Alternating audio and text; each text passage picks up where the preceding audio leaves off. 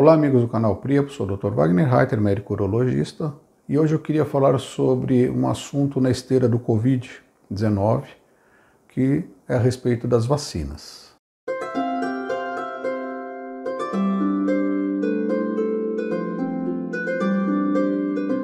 Vacinas e antibióticos foram dois grandes avanços na medicina. Duas coisas que permitiram que a humanidade crescesse muito, com muita qualidade de vida. Porque conseguiu se tratar doenças que matavam ou sequelavam demais as pessoas. Então não tenho dúvida que vacinas e antibióticos estão entre os grandes avanços da área médica. Com isso, nós permitimos que as pessoas vivessem mais e melhor. E há um aumento grande do número da população graças a esses avanços. Quando falamos de vacinas, nós estamos falando de doenças milenares, doenças que acompanham a humanidade há milênios. Por exemplo, a varíola. Existe a múmia no Egito, de Ramsés V, com marcas sugestivas de que ele tenha morrido de varíola. Então, estamos falando de doenças que acompanham a humanidade desde sempre. Varíola, paralisia infantil, febre amarela, febre tifoide, sarampo, catapora, cachumba, a raiva que acomete nossos animais de estimação e que é, pode ser fatal para seres humanos. Então, a vacinação foi uma coisa assim fantástica, que permitiu que crianças não morressem, que crianças não ficassem sequeladas e que pudesse atingir a vida adulta. Então, não tenho dúvida que vacina é uma coisa muito boa. E doenças virais não tem um tratamento específico, não tem um remédio que seja específico para vírus, muito poucos. Uh, estamos vendo isso hoje com essa história do Covid. Não tem um remédio que seja eficaz para aquele vírus, assim como acontece com os antibióticos. O antibiótico é destinado a determinada classe de bactérias, mas com os vírus a gente não tem bem isso. Mas as vacinas, elas fazem esse efeito. E como é que funciona uma vacina? Isso é muito importante de entender. Nós pegamos um vírus e esse vírus ou ele é atenuado, quer dizer, você tira a força, a capacidade do vírus causar a doença e transforma ele num vírus mais bonzinho, num vírus menos maléfico. E esse vírus menos maléfico é injetado nas pessoas. Quando se faz isso, o organismo vai reconhecer aquele vírus como um agente agressor, mas sem a capacidade de infectar, e vai produzir defesas contra esse vírus. Outra forma de produzir vacinas é não pegando o vírus inteiro, mas determinados pedaços desse vírus, setores do vírus, em que o organismo consiga identificar aquele setor como sendo o setor que ele deve atacar no vírus. E aquilo lá é como se fosse recortado do vírus e jogado dentro do ser humano. E a partir daquele momento, o nosso organismo identifica aquela parte como um agente agressor e produz anticorpos contra aquela parte especificamente. Quando o nosso organismo entra em contato com esse agente agressor, seja ele um vírus atenuado, seja ele uma partícula viral, ou quando nós temos a doença mesmo, aquela doença que atingiu a pessoa, o nosso organismo vai identificar aquilo como um agente agressor. No início, ele vai lançar mão de anticorpos genéricos, que é um anticorpo chamado IgM, tá? Tem um vírus no canal sobre isso, explicando. E isso vai dar tempo do organismo começar a produzir anticorpos específicos contra aquela parte do vírus, aquela parte mais danosa, aquela parte é, mais suscetível do vírus a ser atacado. E vai produzir os anticorpos específicos que são os anticorpos da classe IgG, a imunoglobulina G. Depois disso, o nosso organismo guarda essa informação. Isso fica guardado dentro de células de defesa, de linfócitos, que são células que vão armazenar aquela informação, como se fosse uma biblioteca. E aí ele vai falar assim: ok, isso está guardado aqui. Se um dia você receber novamente aquele vírus, tiver contato com aquele vírus, o seu organismo não vai precisar fazer todo aquele processo de produzir novamente aquela imunoglobulina, aquele anticorpo de defesa ele já vai saber que existe um anticorpo específico contra aquilo. Então eu vou dar um exemplo. Você toma uma vacina para o sarampo. O teu organismo vai identificar aquilo como um agente agressor e vai produzir anticorpos contra o vírus do sarampo. Você não teve a doença sarampo. Você teve uma, um estímulo para o seu organismo produzir anticorpos contra a doença sarampo.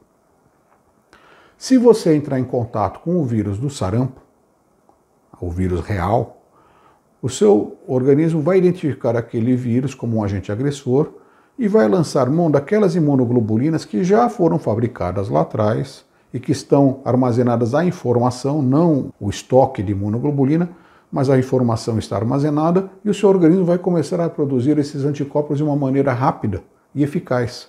E vai bloquear esse vírus e não vai permitir que ele vá para frente. Então você não vai desenvolver a doença sarampo. A melhor imunidade que tem é a imunidade adquirida naturalmente. Ou seja, a pessoa teve a doença e o seu organismo lançou mão de todas as defesas para produzir anticorpos contra aquela doença. Essa é a melhor imunidade que tem, onde o seu corpo teve que trabalhar para resolver isso. A imunidade adquirida de, através de vacinas, ela pode ser temporária ou permanente. Uma imunidade temporária, por exemplo, é da febre amarela. Você toma uma vacina e ela tem uma validade por em torno de 10 anos. A partir daí já não há garantia de que pode haver defesa contra a febre amarela. Você tem que renovar a vacina. Uma imunidade adquirida naturalmente, por exemplo, é do sarampo, da cachumba. Se a pessoa teve a doença, ela não vai ter novamente. E onde eu quero chegar com isso? Eu quero chegar com isso na história do Covid. Covid é uma doença muito nova. Nós temos esse vírus, especificamente esse Covid-19. O Covid já tem, a, a, gente já sabe que roda no, dentro da humanidade desde 1930. Mas uh, esse especificamente é uma doença muito nova. Ele está aí há quanto tempo? 10 meses? Então, nós não sabemos nada a respeito desse vírus. Nós não sabemos como ele vai se comportar. O que vai acontecer no ano que vem com essa pandemia? Será que esses vírus vão continuar existindo? Será que as pessoas que adquiriram imunidade naturalmente não vão servir de barreira para a propagação desse vírus, evitando uma nova epidemia mundial? O que vai acontecer? As pessoas que tiveram a doença e desenvolveram a sua imunidade natural, que nós sabemos que é a melhor imunidade que tem, não vão precisar tomar vacina. Elas já estão imunizadas. Então elas não têm que ser vacinadas. Vão ser vacinadas para quê? Se a pessoa já teve cachumba, ela não precisa ser vacinada de cachumba. Se a pessoa já teve sarampo, ela não precisa ser vacinada de sarampo. Então a imunidade natural é a melhor imunidade que tem. Vacinar para quê? E a pessoa que não teve, ela deve tomar a vacina? Nós não sabemos ainda. Nós não sabemos qual vai ser o comportamento dessa doença no futuro. E se ela deixar de existir? Há necessidade de vacinar todo mundo? Ah, mas é uma doença que mata. Sim, é uma doença que mata. É uma doença perigosa.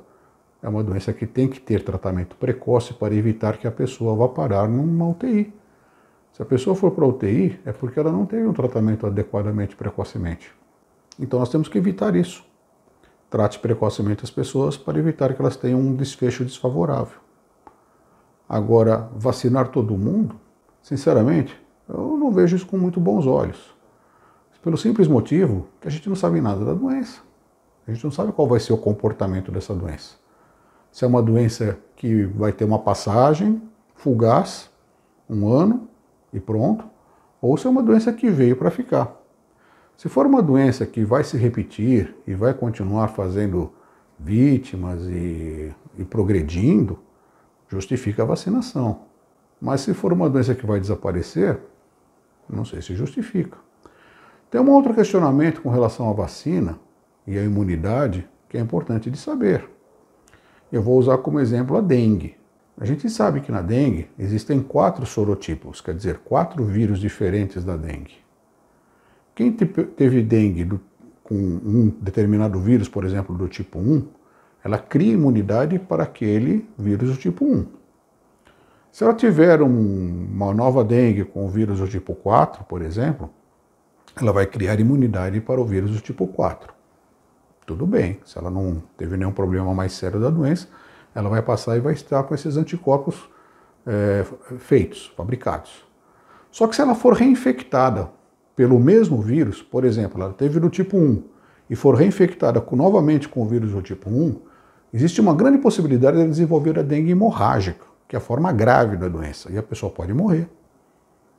Inclusive, hoje, já não se recomenda a vacinação de pacientes com, é, contra a dengue por causa desse risco, porque a pessoa pode desenvolver a forma grave da doença se ela for infectada novamente. Então, isso acontece por quê?